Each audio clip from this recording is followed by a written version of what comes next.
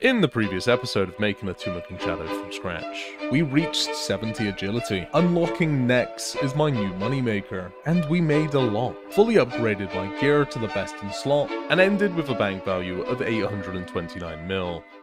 I have just been invited to the Theatre of Blood, and this is the first time doing raids on this account. And yes, I am going to be using the Zaryte crossbow and my best in slot range. This is a very good time to do TOB, because the Scythe right now is going for almost 900 mil. Looking at the damage there, I feel like we did pretty well. Considering these guys are in Torva with Inferno Capes and Scythe, that's not bad. I've just and just finished playing Trailblazer Leagues, and it's so weird not guaranteeing a hit. Berserk was so nice. Oh, I'm trolling. I don't expect this to be purple, and it's not.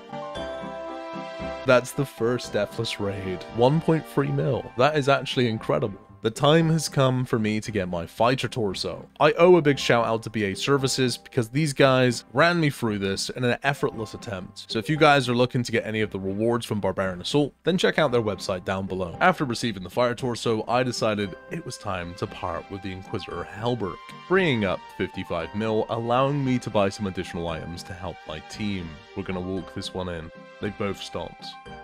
Is it a sign? Oh, it is purple. 900 mil for the scythe. Come on. Imagine first purple for this man. Are you serious? There's no way the first purple we see is a freaking scythe. We are literally in the process of teaching him to top right now. How much is it gonna be? 288 mil. Okay.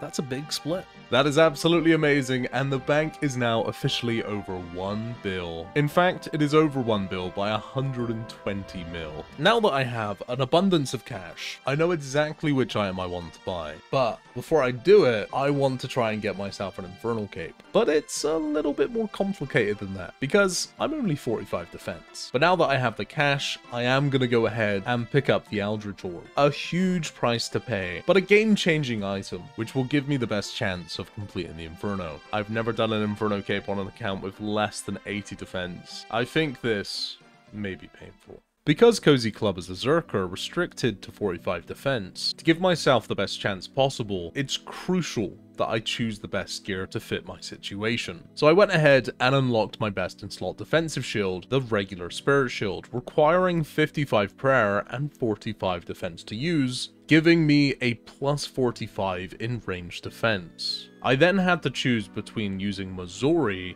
or Blessed Dragonhide. And ultimately, although Masori gave better offensive stats, I favour the defense and the prayer bonus that the Dragonhide has over the Masori. There's no going back now. I'm hoping that by some miracle I'm able to do this on the first go. That would literally make my day.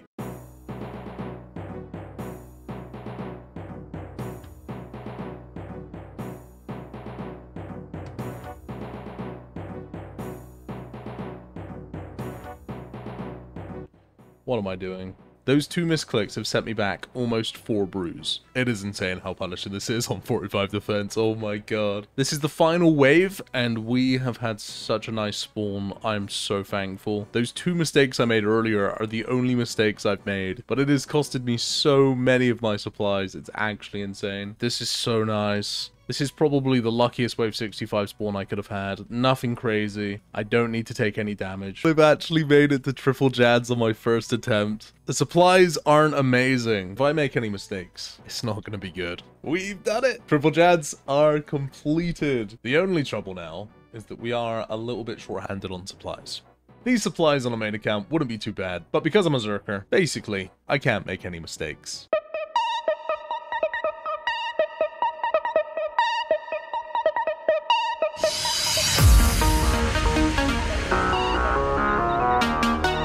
I just got hit a zero on range trade from the mage. I'm so fucking lucky.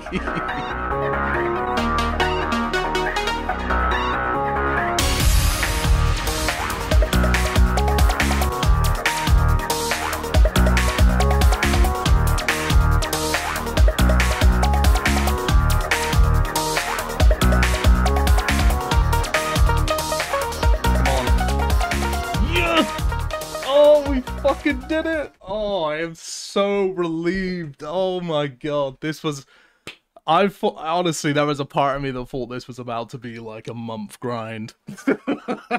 I'm absolutely like, oh my god, I'm beside myself right now. The Infernal Cape on the Zerker. I have absolutely nothing left in my inventory, but I do now have an Infernal Cape on my back and that is what counts. I'm just gonna throw it out there. I think this account is forever gonna be a Zerker now. There's no way I can ruin this. It's such a sick account. It actually is. The Zaryte crossbow has been a wonderful component, but the time has come and we now have 873 mil. I've sold everything in the bank. I do not know if I've ever paid this much for a scythe, but there it is. It is in my possession. We have the scythe. This right here is one hell of a look. I freaking love it, man. You may have guessed it. We are indeed back at the Theater of Blood. I only did 4kc before we pulled the scythe, and we are back. This is about to be a ton of fun. But first, take a seat, and let me tell you about today's video sponsor, BootDev. Boot.dev is building the smartest way to master backend development by tackling the hardest problems first. The folks over at BootDev believe that the best way to learn code is to get your hands on and start writing a ton of it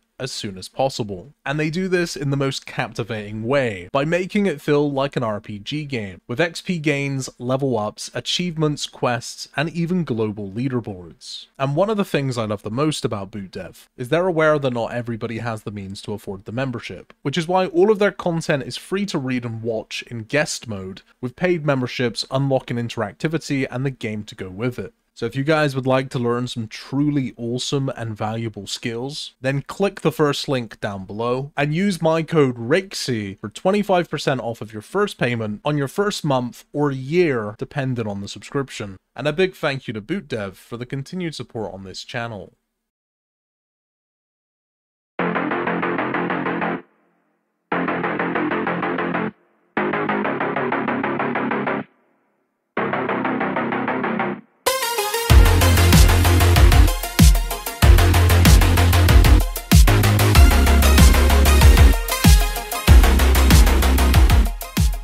Mean, if we get a purple on this raid, it's technically a back-to-back. -back. Come on. 5kc, two purples. That doesn't sound too shabby. Sad.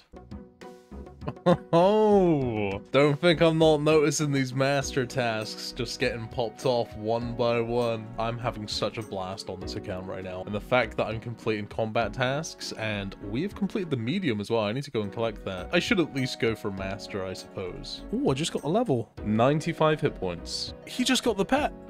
He just got the little Zik. That's awesome. That's the first pet that we've seen here at TOB. Kill Sotetseg after surviving at least three ball attacks without sharing the damage and without anyone dying. But I don't know how we completed that because you literally died there. no. Finally! We got a purple! It's in my name. Can you imagine if this is the back-to-back -back scythe? I'm happy with anything. Anything I will take. Alright the rapier 50 mil that's uh that's actually quite nice i'm down bad right now for cash so that's gonna be a really nice gp injection 16.3 mil split to each of us there we have came to an impasse we can't find a full team so we are gonna try some duos which means i have to invest in the blood fury but hopefully it's going to pay for itself. A successful duo has been completed. No purple, sadly. Oh, let's go. Second purple, my name. Even if this is a hill, it's a 40 mil split and I need the money right now. I just, just don't be Justiciar, please. Okay, 8 mil split. You might be able to tell I'm a little bit sick because I don't feel very well right now. I am going to go do some productive things on the account outside of doing TOB. We're going to do all the quests that we can and we're going to have to get 100% in all of the Arceuus favors. I was supposed to stop at 90%, got a little bit carried away there. When I complete this quest, we will have 100% Arceuus favor. And holy shit, man, I'm so sorry for being so ill right now. 32 rune crafting we're gaming. I don't know when they're going to be removing the requirements. It could be months from now. I honestly don't know. I'm hoping I don't upload this video and they immediately release it. That would be very unfortunate. They did! Less than a week later, which is bad news for me and good news for you. You no longer have to do this grind. But on the bright side, I've now unlocked Thralls, which is going to be a nice little DPS increase. This is going to be the first raid we do with the Thralls. And my god, am I excited to use these things. There's just something so satisfying about adding more DPS to your build. I've got no clue. Oh no, I've got no idea what that was. Killed my teammate as well. I feel better already. Okay, alright. 20 mil. Okay, that will do nicely. At the moment, we are completely self-sustained by the blood vials that we've been getting as drops. All I'm having to buy right now are the blood runes. Verter Trio Speed Chaser. Didn't even realize we were on time for that. I'm gonna have to look up what the Grandmaster time is. We have to shave a minute off of that time. And to be honest, I think we could probably do that. That was the first raid of the day. And I think I died. We can definitely beat that. What the fuck is this? I just looked up his stats and this is crazy. Look at that. I don't even know what kind of bot this is. I'm guessing it's just to get it max combat or something, but why are they trading with a Saradomin and Godsword and full Justiciar? The account is now officially one month old. I feel like the account's come a long way in a month's worth of playtime, to be honest. The bank's over a bill. Stats are looking pretty good, and I'm having a ton of fun at the same time. After all the clean raids we've had today, this is purple. Wow. How does that even work? We had four deaths that raid.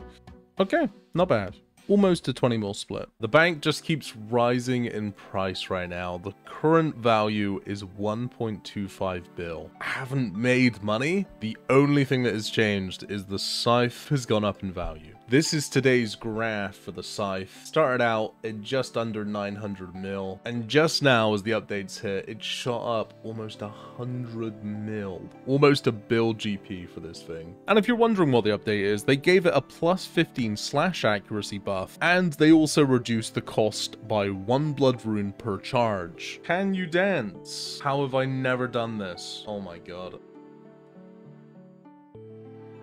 No way. I just got the fucking pet. There's no way. That's the first pet on the account. Oh, it looks so sick. That's insane. Very, very cool. The Zerker TOB pet. I just need to get the Scythe upgrade at some point. We are now doing hard mode tobs. I have only completed eight hard mode tobs in my life which was about three years ago, so this is completely new to me. Hard mode tobs are exactly what it says on the tin. All of the bosses are harder with extra abilities and more health, but the main difference is that if you make the time, you have a chance of receiving the kits and the transmog for the pet. Oh, what the fuck? Did you get less points here? Oh, I'm doomed then. We pretty much all died that raid. That's a little bit rough. We had seven deaths, but we managed to get a completion. That is the main thing. All right, that's actually, uh, that's a really nice non-purple chest. 981k. We're in the cage again. That is the second hard mode tob completed. We're getting consistent completions. I just need to figure out how to stay alive there at the end. Just making silly mistakes. My knowledge is very limited here, so that's my excuse. First, Deathless Hard Mode Tob. Nice. 20 minutes as well. Holy crap. Never purple, but that is progression. Oh, it'd be quite nice to get the Scythe kit. That would be cool. This is the final level in attack that I'm ever going to get on this account, which is going to take us to 82, which means we are going to be able to wield the Osmumten's Fang. So when I eventually go to Tombs of Amascut, I can now wield the weapon. And that also puts us only one level away from 100 combat, which is one of the requirements for the hard Western Provinces. And that's going to unlock the Crystal Halberd and Elite Void, which is going to be huge for me right now because I currently can't afford Dragon Claws, and it'd be really nice to have a decent DPS spec weapon. Strangely enjoyed this grind. 71 Thieving,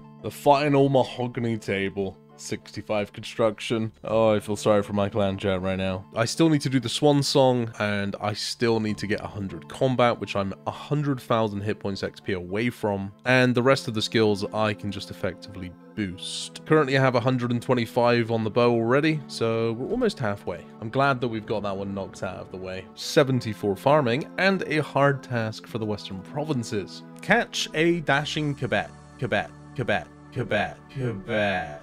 Quebec.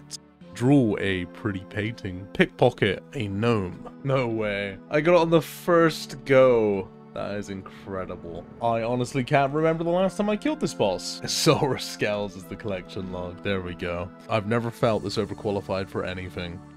Seven points a game, my goodness. And there we go, we have now completed the hard western provinces. Agility has been the chosen skill. Since day one. But the real prize in all of this, Crystal Halberd. Oh, I'm so happy that I can actually unlock this on a Zerker. I wasn't sure if it was possible. I don't know too much about Zerkers until I started playing on this one. It's gonna be so nice actually having a special weapon. Oh my god, that was an 800 XP drop. What? 96 range. I imagine a good chunk of that XP has come from this raid. This has to be purple. oh, it's never, never purple. I don't think we've had a purple in like over 40 raids now. Yes, and it's in my name as well. It's been so long. 27 hard modes. We haven't had a purple for the entire hard modes we've been doing, not one. I'd love to get a hilt or a sang staff. Let's see it. Another rapier. That's the second one. It's 60 mil. I am seriously in need of the cash right now, so we'll take it. I have a 370k cash stack, 15.6 mil each. The cash stack has been recovered, and I'm topping straight up on supplies. 30 KC on the hard modes. Sadly, no purple. 70 rune ore, 65 vials of blood, 2 mil in basic loot. That is so nice. It's mine! I always get the purples. I don't understand. Okay. Avernic Defender Hilt. We'll take that. 73 mil. And it's a collection log as well. We haven't had that yet. An 18 mil split each. That should be a Grandmaster task. Royal Affairs. Six points. There's no way it's in my name again. How? How? Of course. That would make absolute sense. You guys in here with your Torva, your Primordials and all this, and you just can't be on the same level. It's okay. Scythe, please. God damn it. It's a collection log. I suppose. We have now officially passed 100 KC at the Theatre of Blood. We've done pretty well for drops. I've had five purples in my name, which is pretty darn good. Double roll on the Vials of Blood. You don't get much better than that. Purple, finally. Defender, easy money. 18 mil. Nice. 25,000 XP away for my very first 99 on the Cozy Club. There we go, 99 strength. Pretty much all of the accounts I've ever played, I always end up getting 99 strength first. That's really cool. Grandmaster task. The Theatre of Blood hard mode Grandmaster, 50 completions. Six deaths. Very unlikely these are going to be purple. I don't know how I keep doing this. I have had so many purples in my name. No just a Justiciar, please. Okay. All right. Okay. 18 mil split for everybody from the hilts. I don't know how I keep getting them. I guess the account is just blessed. It kind of has been since day one. Even the Callisto days, I managed to get hilts nonstop. Okay, eight deaths. The dream. Scythe on the 8 death raid. It's very possible right now. Okay. Alright, the Sanguinesti staff. That's actually the second best drop we could have got. A healthy 19 mil split. 50 mil in there. 50, 60, 70, 80, 90. I could technically sell stuff and buy Dragon Claws if they're 90 mil. Would be very close. Here's an interesting fact for you. In the previous clip, just before I went to Thailand for three weeks, now I'm back on the game. I've just opened the bank and it is a whopping 1.46 bill. I think it's gone up about 150 mil without me even playing the game. The scythe is 1.1 bill right now. The members has run out, got 14 days, and this should be plenty to make the remaining money for the Tumeken Shadow. Purple! No way! The first raid on return. Let's see it another Sang staff. I'm pretty sure that's back to back. This is the biggest split we've had in a while. I've not sold a single piece of the basic loot from these TOBs since I started the grind. And I'm doing it now because we can actually go ahead and make ourselves the Dragon Claw upgrade.